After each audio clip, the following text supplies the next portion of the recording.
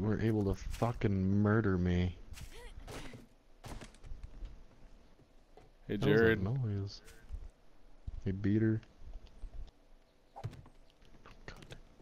Oh, just I got a gun gun too. Just letting you know that I have it. Okay.